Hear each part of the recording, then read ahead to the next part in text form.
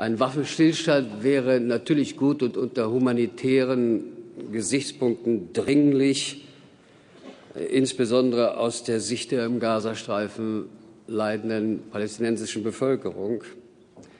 Ich bin sicher, es wird einen Waffenstillstand geben. Aber ich bin nicht sicher, ob es ihn schnell geben wird. Und ich bin mir überhaupt nicht sicher, ob es ein nachhaltiger Waffenstillstand sein wird. Und die Frage ist, wird Hamas sich jemals darauf einlassen?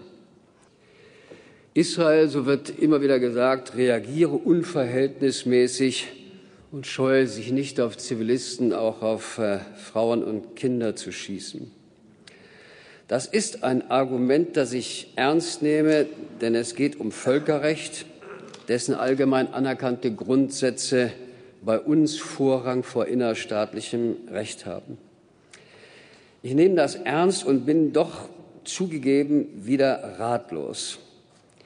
Wie sollen denn Zivilisten geschützt werden, wenn sie, wie wir in asymmetrischen Kriegen immer wieder beobachten, von der nichtstaatlichen Kriegspartei als Schutzschilde benutzt werden, wenn Munition und Waffen in Moscheen lagern und Raketen aus Wohnhäusern von Balkonen abgefeuert werden? Wir wissen, dass Hamas auch hier in dem Beispiel der Hisbollah folgend genau dies tut was freilich die israelische Armee nicht von der Verpflichtung entbindet, die Zivilbevölkerung zu schonen. Ein Dilemma, aus dem es militärisch keinen Ausweg gibt. Dieses Dilemma zu erzeugen, ist meines Erachtens das strategische Ziel von Hamas.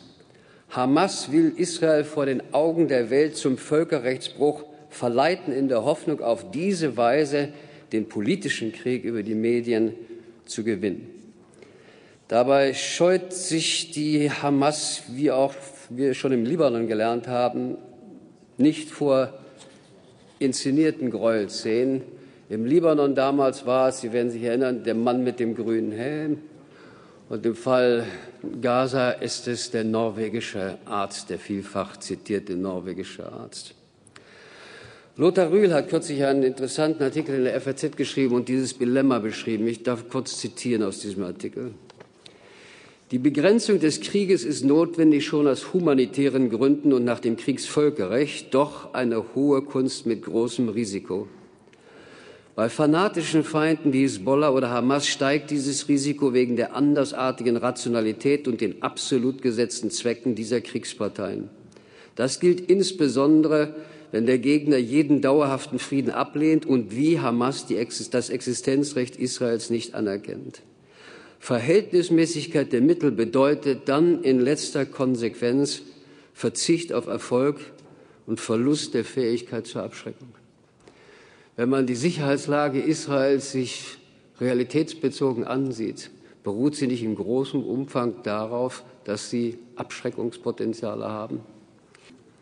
Deutschland hat Technik und Expertise Herr Außenminister, zur Sicherung der Grenze zwischen Ägypten und Gaza angeboten. Das ist ein erster und guter Schritt, reicht aber nicht aus. Das eigentliche Ziel unter Sicherheitsgesichtspunkten ist die kontrollierte Entwaffnung der Hamas.